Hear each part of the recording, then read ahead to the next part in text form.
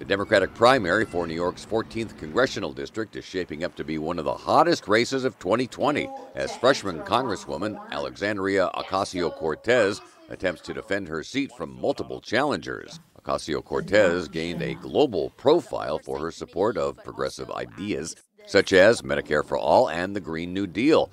But that profile has opened her up to criticism from all sides and could damage her reelection chances challenge for her is going to be convincing her district that she's looking out for them and not playing on a national stage. Voters, on the other hand, don't seem to think this is a problem.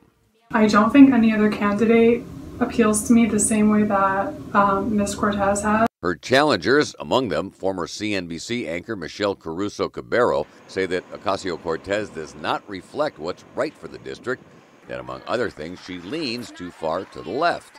She drives away jobs.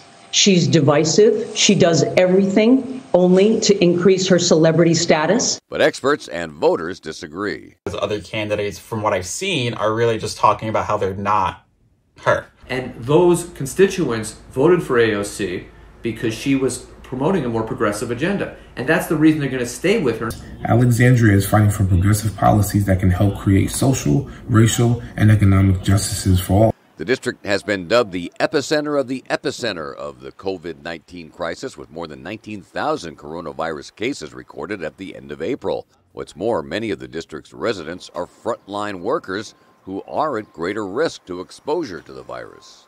Some of us, some of us have to have no choice. We have to go out and work. If anything, it seems the left leaning politics of AOC appeal to voters more than they did before, making it an uphill climb to unseat this popular congresswoman.